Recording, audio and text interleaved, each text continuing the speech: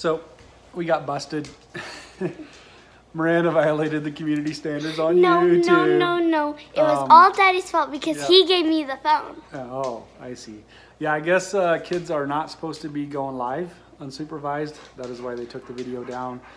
Um, I was right there, but they probably didn't see that. I don't know how they watch those or how they decide that.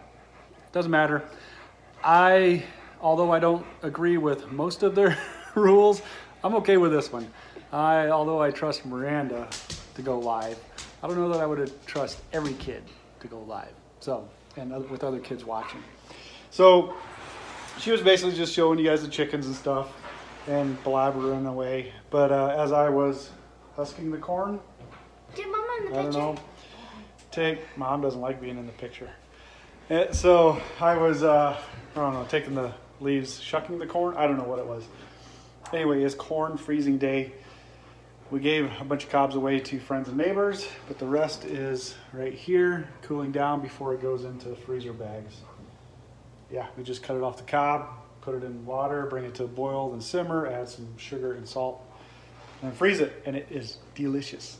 This is the incredible uh, variety, the kind, the brand, the whatever.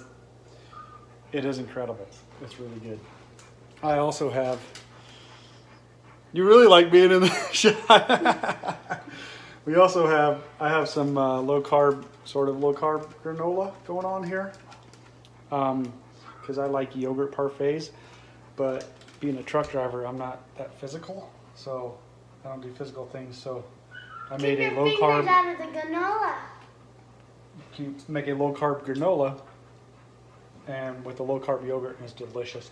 And It's actually really it's actually really good. It's just kind of a nutty a lot of nuts and stuff with some peanut butter and coconut stuff in it. It's really good. You can find videos online that give you recipes. Yeah, and I'm pretty good at making a mess in the kitchen. Let's see if I can talk my sweet sweet wife into cleaning it up unless she wants to. I'm married. Anyway, so yeah, that's what's going on. That's why I got taken down. It wasn't a big video. Just, uh, I don't know. It is what it is. This is Miranda. I'm CJ. It's the Amish Potato.